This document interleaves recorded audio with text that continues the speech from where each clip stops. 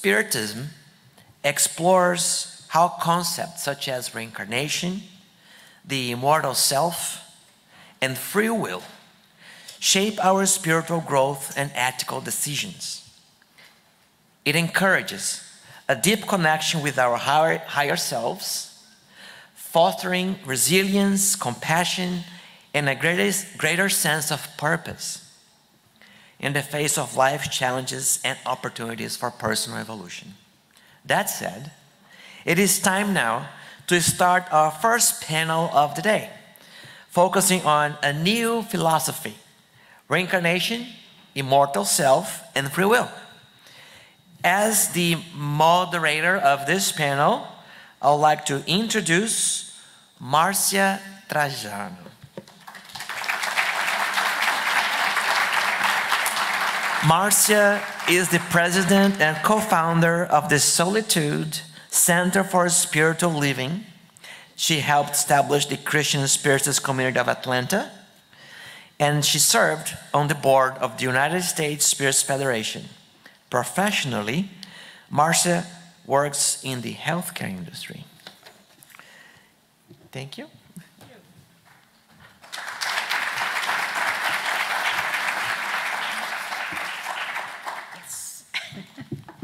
Hi, hi everyone. It is so good to be here. I have to cheat, two cheating mechanism. One of them is my friend Jusada.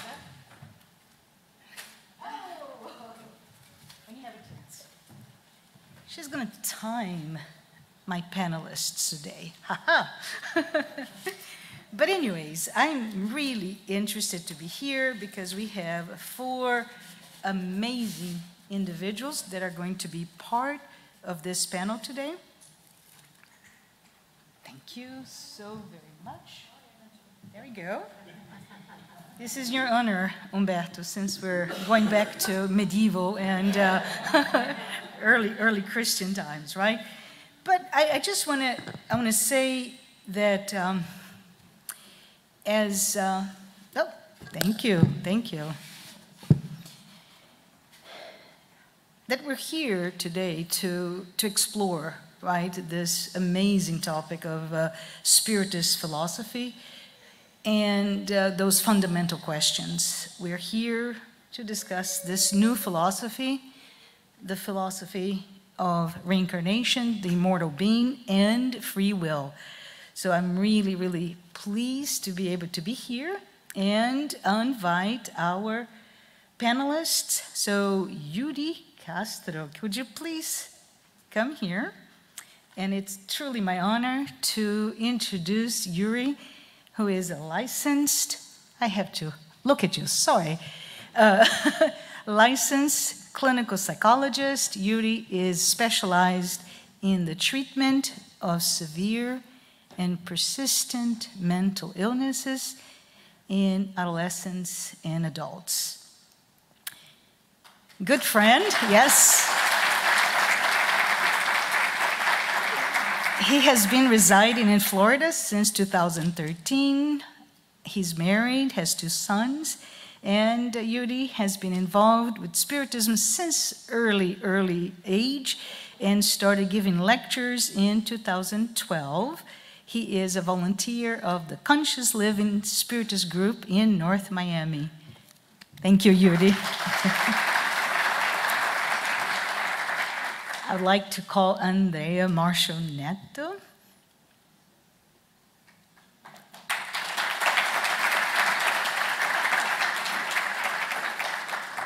Another good friend, and Andreia is the director at the Conscious Living Spiritist Group. She is the secretary of the board of the Spiritist Federation of Florida.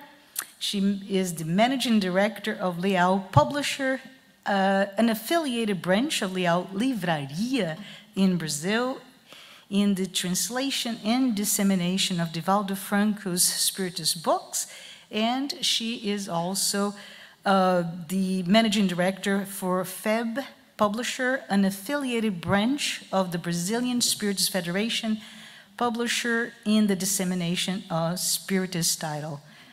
Andreia, Thank you for all that you do.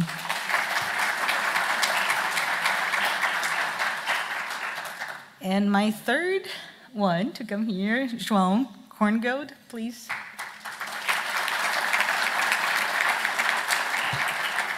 And um, João Korngold is one of the founders and directors of the Spiritist Group of New York and the Spiritist Alliance for Books. He began studying Spiritism more than 30 years ago and has been one of the directors of the mediumship meeting at SGNY for the past 20 years. He's also responsible for study groups that uh, focus on the basic books of Spiritism and on the André Luiz collection. He gives talks on Spiritism in Portuguese and in English, and João Korngold is an engineer and works as a banker. Welcome, all of you. Thank you. Thank you. So, we're going to start with Yuri coming to talk a little bit about this whole topic here. Yeah. I'm Peter. My goodness, my goodness, my goodness. You know, Peter, I don't have your bio, so but I have a cheat sheet here, so that, that's okay. We, we, we, we got you. Peter, how could I Ay, my goodness. My, he'll, he'll never let me forget this. Peter, Peter, please come to stage.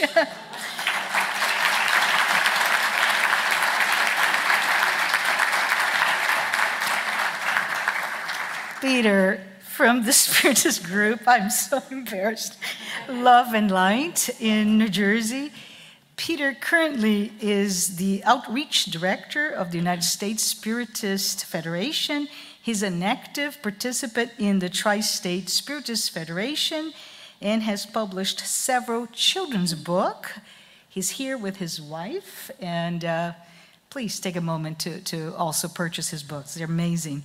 Um, Betty Rosen, who's here with him, and uh, they're doing uh, they write their books and they publish uh, through their company Sem Fronteiras Press and with other publishers in Brazil, Colombia, and the US. Oh, what an honor to be here with you. So we'll go ahead again.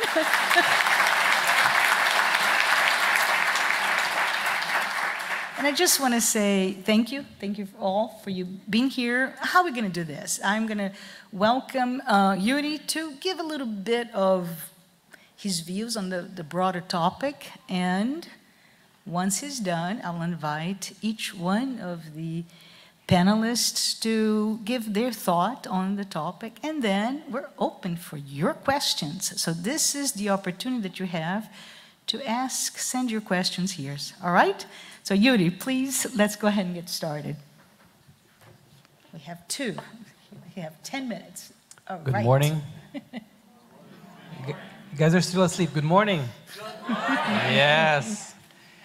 Being that this is the first panel and I'm the first one speaking, I wanted to start with a question that I want each one of you guys to think to yourselves. Why are we here? Specifically, why are we in this conference about Spiritism, about life through the lens of immortality? What has drawn us to Spiritism?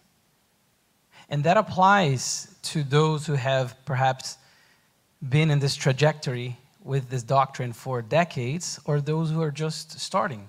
Because in these conferences, we have people from all walks of life, all different types of understanding, and something has drawn you guys to be here today. Something has drawn you guys to consider Spiritism and to consider the knowledge that it presents. And I want to offer answer, a possible answer perhaps, because each one of you is going to have a specific answer as to why Spiritism. Some may say because of this philosophical aspect of the doctrine, others may say because of the the religious or the ethical moral set of beliefs or spiritual spirituality aspect of it and some may say it's because of the science these irrefutable proofs that we learn through spiritism about concepts such as immortality of the soul reincarnation, free will, and so forth and so on. Some may say it's a combination of all. We each have our own answers, but I want to offer one I want to say that we are drawn to Spiritism in this, this set of knowledge because deep down in our conscience, which is we learn as is where the laws of God are written, we yearn for something more. We yearn for something different, for something better. Deep down. No matter our walks of life, no matter our trajectories, we, we yearn for that. We yearn for the thirst for knowledge and the hunger for the love and the teachings of Jesus. And that is the common thread, as I like to think, that draws us all together here in this feasting in this banquet of light in the form of words, in the form of energy, so we can improve ourselves and improve others along with us. But Spiritism, as Humberto talked so well, it, it didn't, a lot of his con- its concepts started a while back. And given the philosophical underpinning of today's conference, philosophy of Spiritism, I wanted to bring attention to two giants of the field of philosophy that we find in the Gospel according to Spiritism in the introduction Socrates and Plato. So Kardec is going to tell us that, again, Spiritism and the vestiges that we have for the concepts can be found can be found all the way back, as Humberto so well presented before. But long before Spiritism in the middle of the 1800s became something, Plato, Socrates, they were talking about man as being an incarnate soul. And we find this in the introduction of the gospel according to Spiritism. Man being an incarnate soul, being of being this essence that is incarnated, that assumes this material form temporarily, but it's something much greater than that. Something much greater. They even go on to say how when man look or contemplates, that's the word they use, its divine essence, he directs himself to that which is pure, immortal, and eternal.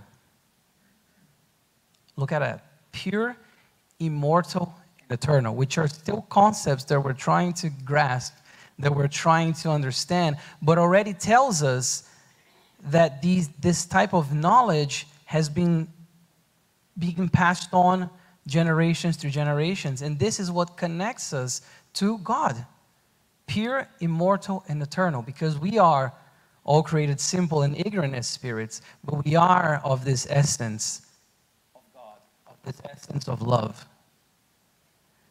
And again, with the philosophical aspect of this conference, it's important for us to have these things in mind. And Spiritism is, is touted as this consoler promised by Jesus Christ, the consoler. But what does it console? It comes to help alleviate pains that we have endured for far too long, for far too and far too often throughout our multiple reincarnations, throughout this, this trajectory of the immortal soul. It is also said to be the third revelation, Spiritism, the third revelation. But what does it reveal? Because for it to be a revelation, it has to reveal something that is there. What is that something? That something is the essence that has been with us in our collective minds for so long. And we have been basically recycling some of its ideas in a way that we can now understand. The new era that Kardec talks about, the new era of Spiritism and of this knowledge, is nothing but a new understanding of concepts that have been talked to us and taught to us for millennia, for, long, for a long time. So the idea of the third revelation. Yeah, let's switch with Andreia, if you don't mind. Thank you, Andreia. Let's try this one. Oh. Yes, much better. so the idea, the idea of, of, the, of it, it being this third revelation in I think it's you, Yuri. I'm gonna have to speak loud. so the idea, I'm gonna continue talking. Can you guys all hear me? Get real, Yes, all right. get real close to your mouth, if you don't mind. Right here. Yes. Okay, let's try this way. All right. So the idea of, of No? no. Yep. no. But the, the idea of it being this, this revelation and the idea of it shedding light into something that's there, this essence that's already there. And then This, this works. Sorry about that, guys. Can you hear me now? This idea that something that is already there, something that is immortal, all this knowledge that has been passed on for so long. And Kardec says that it sheds light into the mysteries of the past, but also opens the door or the doors to the future, to an understanding that gives us clarity in our minds and bring peace, peace to our hearts, our aching hearts, our hearts that yearn for something, like I said, something else, something more, something better, and something different. And this notion of the doors, of opening these doors, is something that Kardec talks about in the Gospel according to Spiritism in the introduction again, when he talks about Spiritism bringing this or bringing and being this indispensable key. That's the terminology he uses. This indispensable key that will help us become enlightened so we can learn the knowledge once and for all, or in a way that we can also apply it. Because it's about internalizing the knowledge and also externalizing that knowledge through our actions, through our modified behaviors. So, we, so it's not dead knowledge. D E A D, dead knowledge. It's externalizing that. And the key, and again, Kardec talks about how no spirit claims to have all the truth, that the ones that communicated, because not everybody or not every spirit has reached a level of maturity to be able to know all the mysteries. And so are we.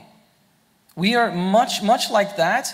We have now received, over almost 200 years ago, this new compilation of knowledge, this new way of looking at things that is actually a way that we can now understand because for far too long the message of our sublime friend who graced us with his presence 2000 years ago has been misunderstood. For far too long his teachings have led people have wielded his teachings in a, in a wrong way and have done awful things but now we have this new outlook on, on, on, on the knowledge and that, that is what Kardec is telling us of having this understanding. If we bring the, the, the picture that Humberto showed about the, the, with the mountains, we can even think of an analogy with that, that the further we climb that mountain, the more we can see further ahead. Whereas if we're down at the base, still beginning that climb, we're gonna, we're gonna, we're not gonna have the capacity to look and be able to seek through. So, the idea of Spiritism, then, with the immortality of the soul, of the reincarnation, this process that through which we progress and we advance, because that is the purpose of reincarnation, and the free will, which is the instrument that we have acquired, we have inherited through our, our progress, that we use to be the authors of our own destiny and our own work. And with that, I'm going to pass the word to my friends to talk more about those three aspects. Thank you very much.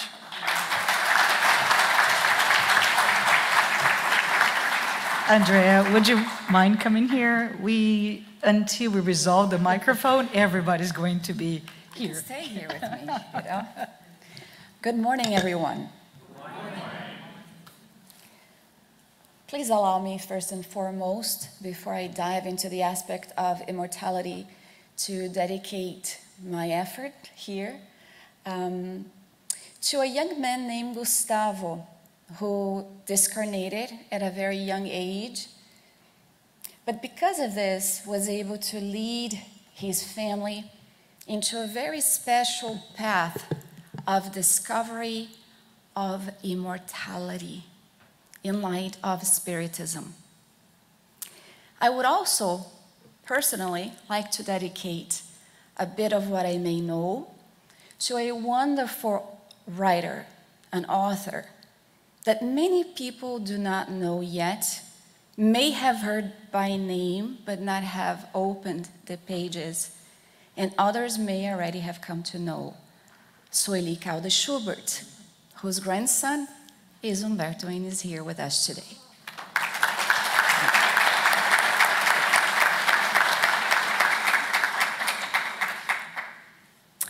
Leon Denis decided to dedicate his work after death, stating the very following dedicating to the great noble spirits who revealed to me the majestic mystery of destiny, the law of progress and immortality, whose teachings consolidated in me the sentiment of justice, of love, wisdom, and devotion to duty, whose voices dissipated my doubts and eased my concerns. To the kind souls who have upheld me in my struggles, consoled me in my trials, and lifted my mind to the luminous heights where truth resides, I dedicate these pages. It's interesting to see the word of the great poet Leon Denis. And in thinking about what I could say in 10 minutes, I started wondering if I could do a huge roundtable and ask each one of you what immortality means to you how has immortality come to play, the knowledge of immortality in light of Spiritism come to play in your own life? We'd hear diverse stories, comments, thoughts, opinions, but in the end, we would all come to the conclusion that having knowledge about the immortality of the soul entails, first and foremost, the idea of divinity. God created us simple and unaware, in order to progress through the many comings and goings, reincarnation. Because of our immortality, giving us this idea that is very empowering in a way, because although we understand that we are immortals, reincarnation is presented to us, and I'm not going to talk a lot about it, but it's presented to us, and we make the most of it. We make the most of it. And then many will say the consoling aspect. You might even start remembering how you may have become in contact from a very deep sentimental way onto the notion of immortality. When, for example, at the age of five and a half, I met my grandfather, who was Scottish, by the way, Irish Scottish. And I remember that I did not speak English. And I was so afraid because I, I had just been adopted and I had these adults in my life. And, you know, it, it's scary for a child, you know, new people that you have to call mom and dad. But he traveled to Brazil because he lived in um, New York at that time before he went to Florida. And I looked at him, he had the bluest eyes. And he looked at me. I'm not allowed to cry, but I, I do. Because I remember the moment I felt at home, I felt connected. And so immortality also shows us that through the lives that we are in touch with, this connectedness that in reality starts with our Father who created us all, destined to the very same place, achieving it progress, achieving it through our immortality. Allan Kardec has an amazing long comment on question 149 of the Spirit's book, in which he starts addressing the fact that human beings instinctively we hold the notion, the idea, the knowledge, the conviction that things do not end when our physical body perishes. And like Humberto talked about in his talk, the ideas might be diverse in many ways regarding the things that Spiritism brings us about spirituality. But Allan Kardec is going to say, in vain, they may rebel against the idea that there is nothing when we die. Because very often, when the time is approaching of death, one may wonder, what is going to happen to me? Heck, if we wonder that and we are spiritists and we have the notion of immortality, imagine those that don't really even believe in anything. And so, Emmanuel, in the book, yep, I forgot the book. yeah, Emmanuel. Emmanuel, the spirit author who wrote through Chico Xavier, he wrote the following. He said, Remember immortality, our divine inheritance. That's our divine inheritance. Often, when we talk to people in the fraternal assistance at the Spiritist Center, one of the things that we try to do is give them this faith, this hope, this clarity that we are children of God. That there is nothing greater than simply being those who will inherit the earth those who will inherit the universe, if we want to speak that way. He's our Father. But then he says, the immortality is our divine inheritance. And he reminds us wherever you go, conduct your soul as a precious source of comprehension and service.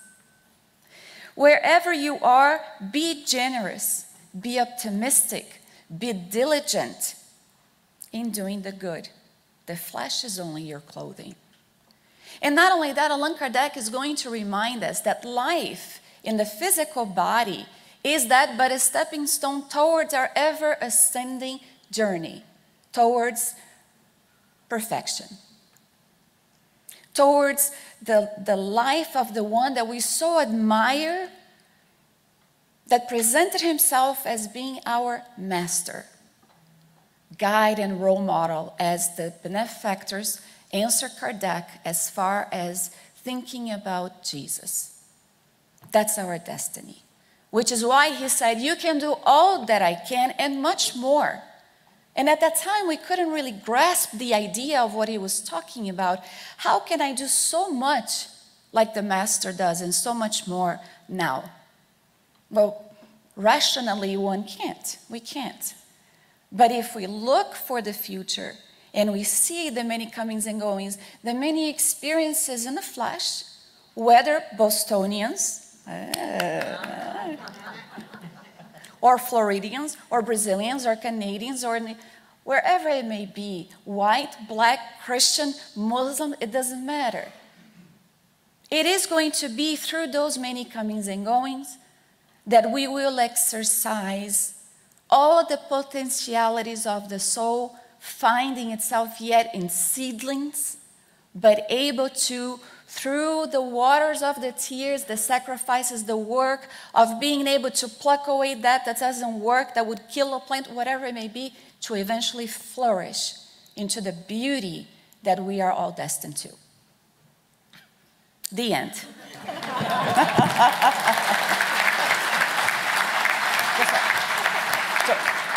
really quick because it's pretty.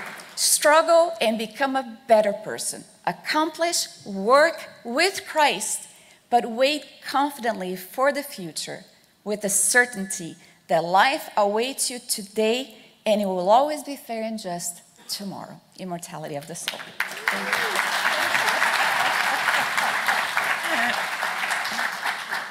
João, would you mind coming here? João will continue this discussion talking about Reincarnation. Reincarnation. Thank you. Thanks. Morning. Nice to be here amongst friends once again, like we've been doing every year. And I was, when um, Naur was presenting, introducing everything, and uh, the symposium, the third symposium here, right? The theme of the third symposium was reincarnation, right? And uh, 15 years later, we come to 10 minutes of reincarnation only, right? That uh, I'm responsible uh, to deliver. And I, I, wanted to approach reincarnation from a philosophical point of view. And um, when I was, uh, studying a little bit, I looked, I went to our uh, new resource, which is called uh, artificial intelligence, right? And I wanted to find the origin of the word reincarnation. Where did it first started? Because we know the concept of reincarnation has existed forever, right? Since uh, we were incarnated here for the first time on Earth, all the civilizations have some notion of coming back to life, of being reborn, of having a new existence, but without the word reincarnation. And I found through artificial intelligence, Humberto, that the term reincarnation was coined by Allan Kardec. And then you brought that it was not. So I'll leave to you. But without doubt, Kardec was the one that popularized the term. Before Kardec, reincarnation was not used in general, uh, widespread terms. Uh, reincarnation comes from the Latin, uh, come back to, to the flesh, right? And so it makes sense that originated in France, in French and not in English. But again, uh, open for discussion. The same is the word medium, right? That a lot of people say that it was first coined by Kardec, and Humberto said it was coined by Post, right? And uh, I believe you. Uh, but uh, Kardec was the one that uh, really uh, popularized the word. Now, from a philosophical point of view, right? First, um, do you know how many Americans believe in reincarnation? According, according to the latest uh, research uh, done, poll done in 2018 by the, um, I forgot the name of the institute, one very famous one, 33% of Americans believe in reincarnation. 33%, that's one third of the Americans. Now, of the 33%, 32.9 have no idea how it works. they just believe in reincarnation. So, we spiritists, we have the how, we have the understanding, we know how it works. So, we shouldn't say we believe in reincarnation, we should say we know that reincarnation exists, right? Because for those that believe, you can believe today and you can stop believing tomorrow. Do any of you are going to stop believing in reincarnation at any point in the future?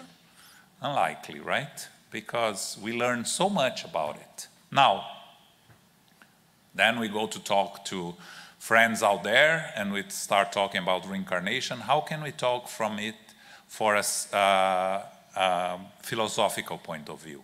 I think the best way is to approach in the sense that Kardec did in, the, in question 222 of the Spirit's book. It's a long dissertation by Kardec, eight pages, and it really brings us the full uh, idea of how to approach reincarnation in a philosophical sense. Thinking, look at the differences between us all. How can we be living here in our first existence? Or this is our only existence. So, if it's our only existence, what happened before? We didn't exist? If we existed, it didn't exist? Why so many differences, right? I like math. Humberto likes literature, he's a writer. Why he's a writer and I, I'm not? I can't write, I can barely translate. so, you know, why the differences? Reincarnation gives us the answer.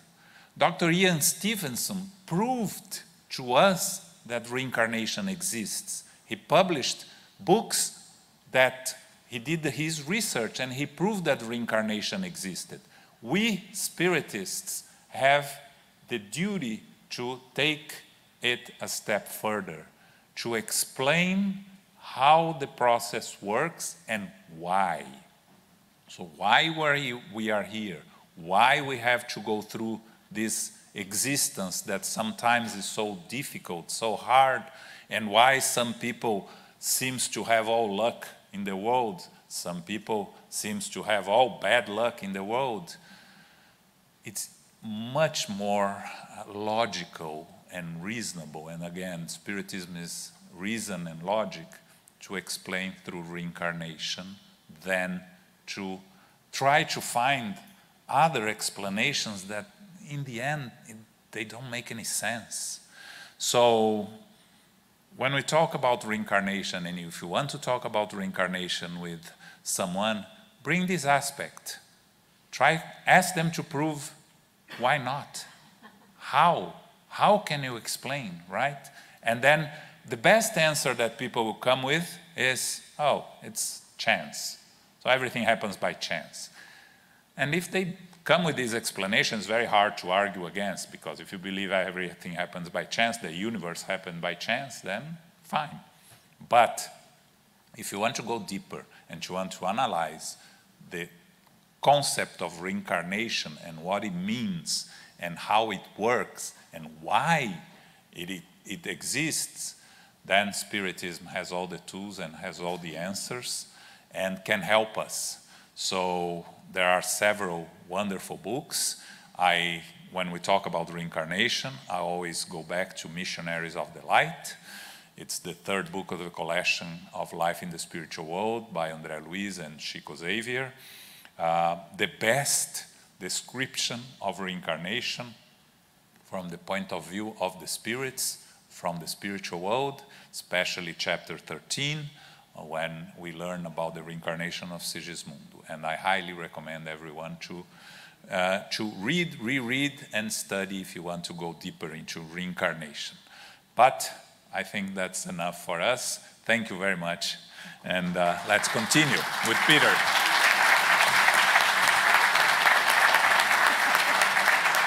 Peter, I did not forget you this time. Come on board. Peter will talk about free will. Thank you. Whoever I am, right? Whatever this guy is. right. Thank you. You see, I thought maybe I was going to get to escape this and I could just sneak out. Didn't work. Oh well. In describing how he created sculpture, Michelangelo, the great artist of the High Renaissance, said this about his masterpiece, the statue of David. He said, I created a vision of Michelangelo in my mind and simply carved away everything that wasn't David. He makes it sound so bloody simple. but Michelangelo was using his free will. Free will is when we make a choice or a decision. And free will is also when we make choices based on one or more options. The fact that we, well, if we take how Michelangelo describes how he creates sculpture and use that as an analogy for free will, it could be something like this. The act of chipping away can be our free will at work through intention, through effort. And within that, we're making revelations, we're making all kinds of discoveries, we're learning, and much, much more.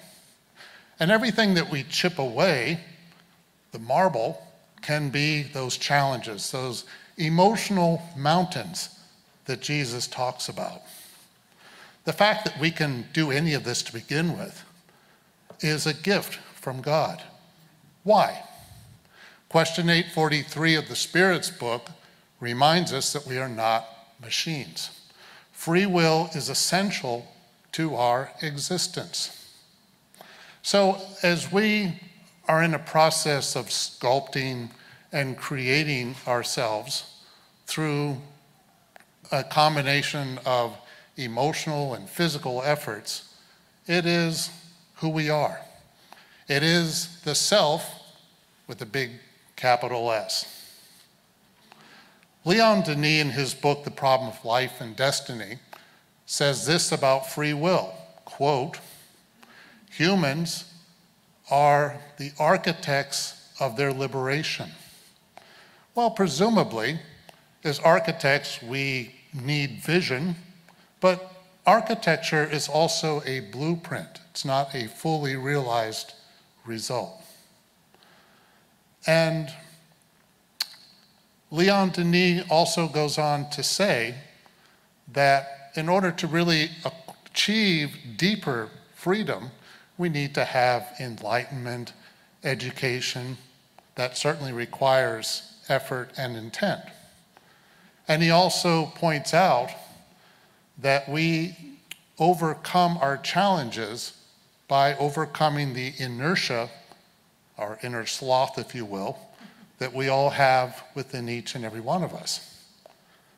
So, and then also, Leon Denis ends with a very optimistic statement. He says that all material difficulties can be overcome.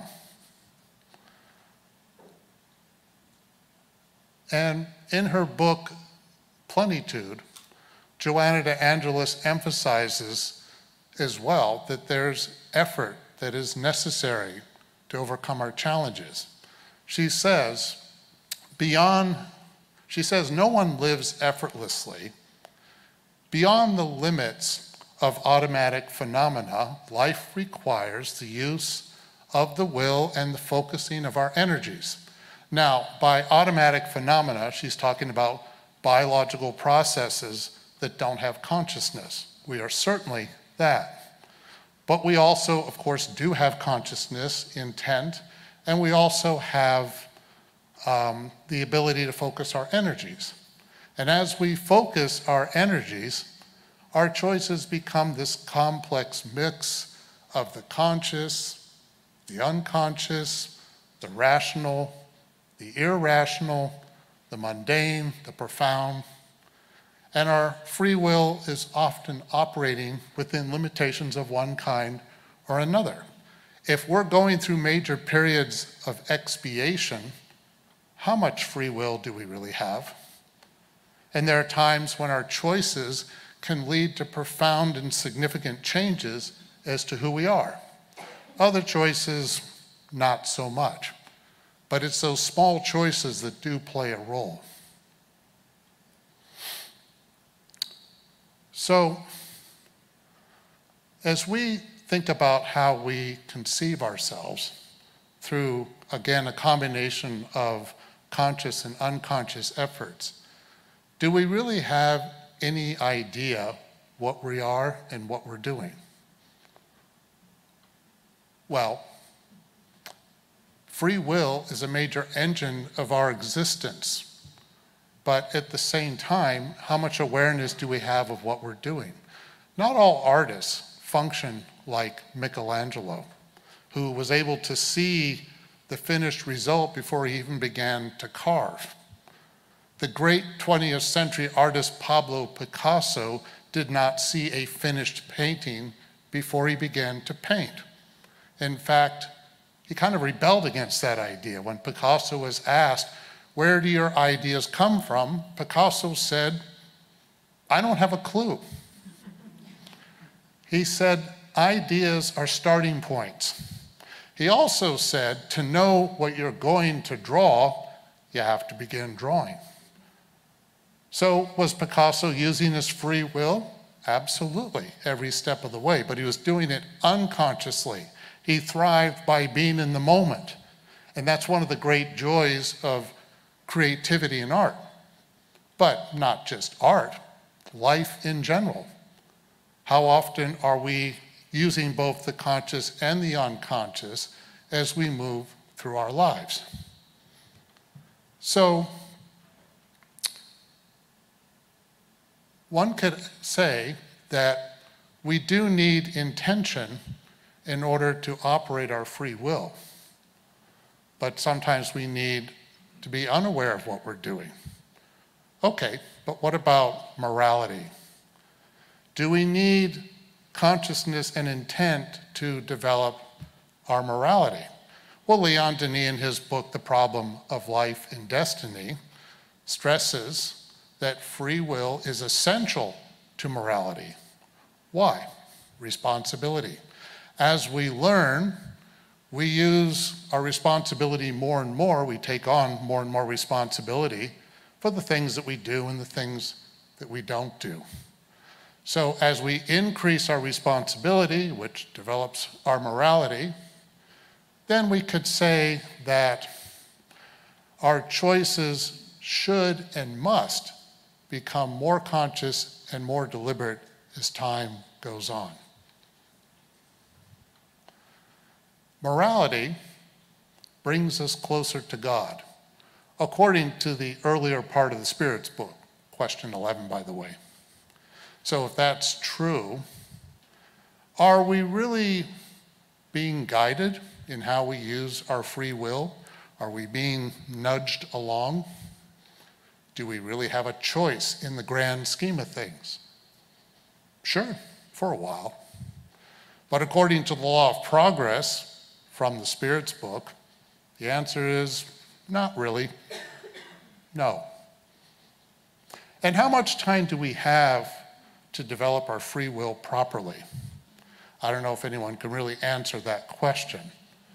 But since life through the lens of immortality is the theme of this symposium, I'm going to wrap up by trying to add this to the theme. Without immortality, our free will is rather limited. In fact, I'll go further by saying that without an immortal soul, having free will is almost meaningless.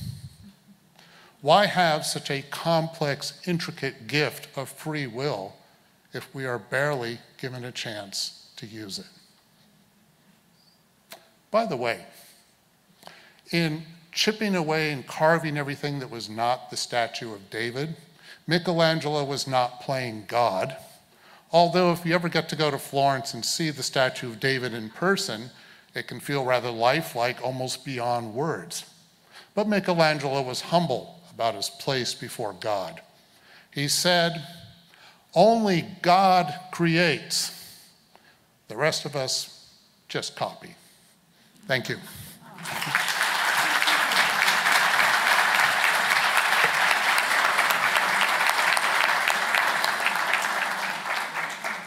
Our timekeeper is stealing time, I swear to you. But anyways, I would like to invite Yuri Castro to come back and give us a little bit about how it all ties together. Would you come here? Or do you want to sit there?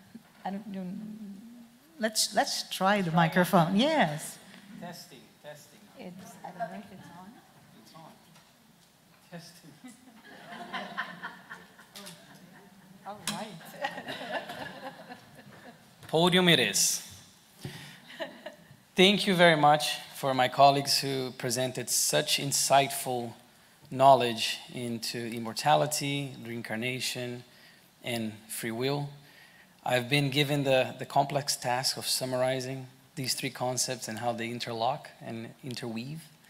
So, the idea then, with the life through the lens of immortality, as Andreia spoke so well about immortality, if we think of the word lens, when we look at life through the lens of immortality, through the eyes of Spiritism and the knowledge that it brought to us, what it does, it, it widens our understanding. It widens our view. So these lenses act almost like the fisheye type of lens that we have nowadays with GoPro and other devices that we can widen our view. Because if we look with the myopic view of the materialistic eye, immortality, reincarnation makes no sense.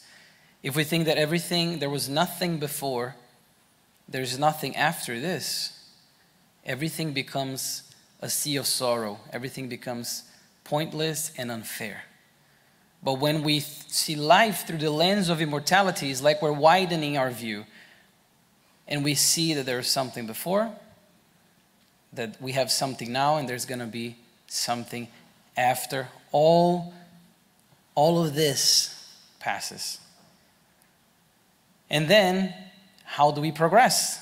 As João talked about, bringing the Spiritist book, through the process of reincarnation. And the word itself gives us the key to that. Incarnation, the act of coming into a body, into a body, a material body made of flesh. But the re in the word is the interesting piece because if we think of the re, it's almost as doing it again. But in the same way that we, when we have to redo something, let's say in school or, or at work, that we did wrong perhaps, when we redo, we do it better. We have to do it differently. So the reincarnation then serves this purpose, as its own name already tells us, of fixing past mistakes through expiations, which is nothing but the restoration of balance that was once lost, as Joanna De Angelis says in the book Plenitude.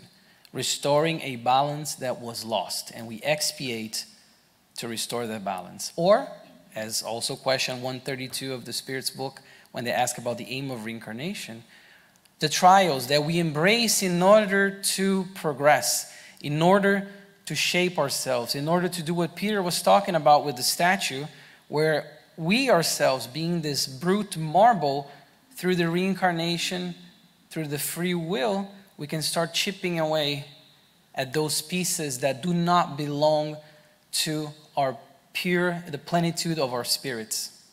And we can start to chip all of that weight, all of that impurity, all of those, those sediments that do not belong there. They're not going to belong there when we reach that state of plenitude.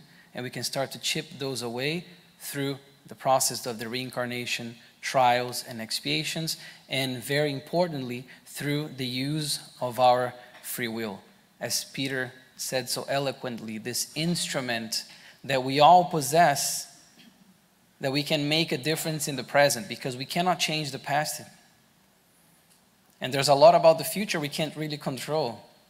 But we can definitely control the present. We can definitely control our own actions, our own actions, and how we move from now on.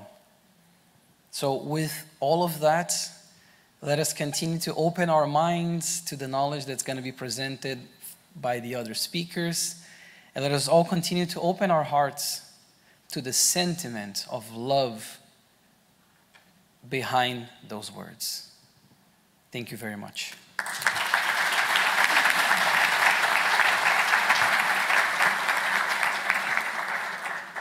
Did we receive any questions from the audience? Well, I have a few minutes, so I have a few questions to ask, shall we? So I wanted to, to um, Andreia, she has the microphone. Let's see if she, it works. But um, Andreia gave a beautiful um, clarification about uh, immortality. So can you provide maybe examples of uh, Jesus' teachings in which immortality is directly linked to the very sought kingdom of heaven? No, come on in. it's a very fluid. Yeah, yeah. When we talk about the kingdom of heaven, automatically we see Christ in a way instilling the idea of immortality in the hearts of those who were there with ears to hear.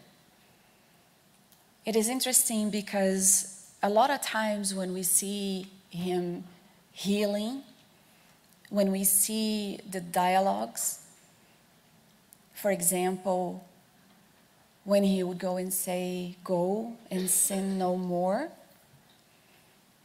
in which he wasn't talking about the time, the present time that had brought on an illness. Much, much, much, much, much, much later on would we understand the aspect of the law of cause and effect and how everything that we do does cause an impression our perispirit, our perispirit. In joking with a, a youth, a teenager at our center, I said, you know, just to make it, you know, easy to understand, if I, who here remembers carbon paper, right? That's what I said. See, some people went like that, right? But the, the teenager's like, carbon paper. She had no idea.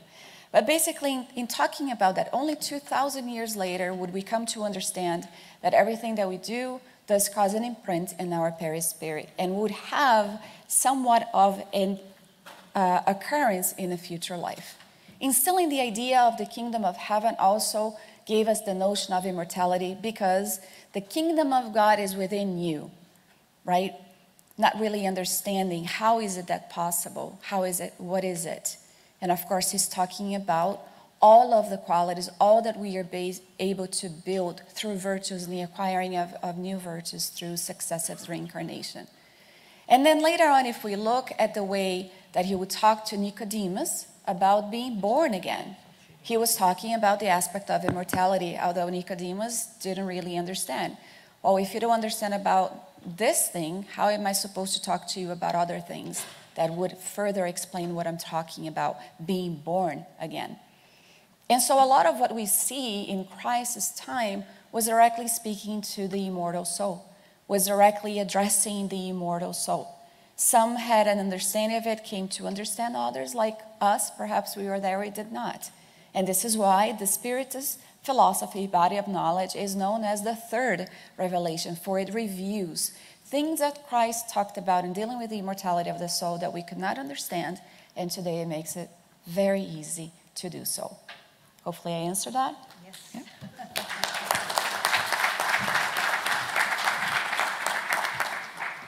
Whoever you are, those are great questions. Oh my goodness. And we have three minutes. So I thought those three meant another one. So I propose no lunch for anybody and we stay here. No, just kidding. But I thought this one, I would love to have Yuri address this specifically. Yuri, the question here is we understand that any religious practice helps to improve our mental health by giving us resilience. How do you interpret religion principles in the treatment of people with long term mental health problems? Can you give some examples in three minutes? Hmm.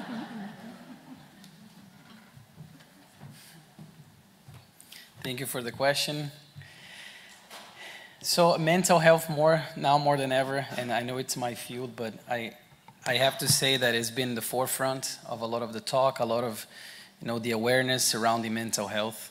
And it's not for nothing. Nowadays, the materialistic grasp is still very strong, and more and more we're seeing a disconnect between, between that which is eternal and that which is material. And we're seeing a lot of these disorders, mental health disorders, as we diagnose them through the DSM 5 TR we see a lot of that in our daily lives. Religion, as whoever asked this great question, indeed helps us build resilience, helps build connection and belonging. Because a lot of the times, these conditions, and we can spend three hours here going through the DSM and looking at of all the, about all these conditions. A lot of them has to do with a feeling of hopelessness and especially if we're talking about major depressive disorder, suicidal components of that disorder, hopelessness is the common thread between that and the suicidal ideation, intent, or plan. And the idea behind having religion align with mental health, and just to make a parenthesis, Joanna De Angelis brings us amazing insights into this, this bridge between psychology and religion. But the idea is for this for these religious practices or the religious belief to be intrinsic with the treatment of mental health because again if we look through the fisheye lens of immortality reincarnation and free will we know that a lot that's, that happens in mental health a lot of the struggles the symptoms are from either past lives or either from spiritual obsessors. There's way more than clinical psychology a lot of the clinical psychology, I'm not going to say all of it, still is very limited in its own view and its own practice. So there are, to answer the question, there are a lot of practices that involve, directly involve religiosity in the treatment of mental illness, particularly the severe and persistent mental illnesses.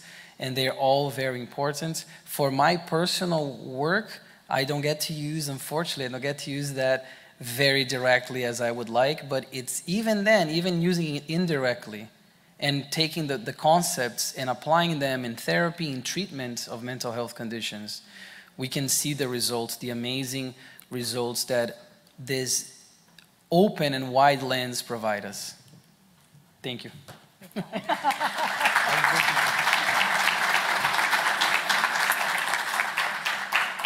I mentioned that I cheated with the timer, five minutes. So thank you, Josada, for, for bringing this.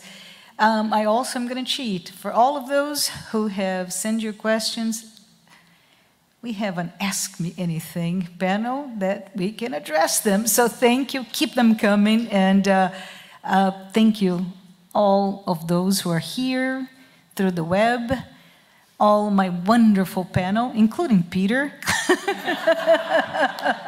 thank you so very much.